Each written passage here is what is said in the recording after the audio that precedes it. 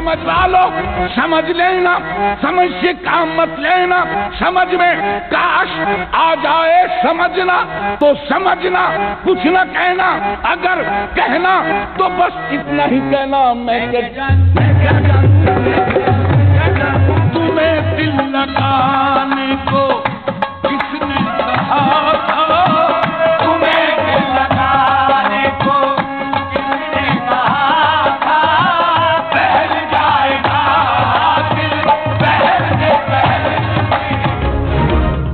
मारूफ कव्वाल अज़ीज़ मियाँ का यौम पैदाइश। शहनशाह कव्वाली आज भी अपने चाहने वालों के दिलों में ज़िंदा।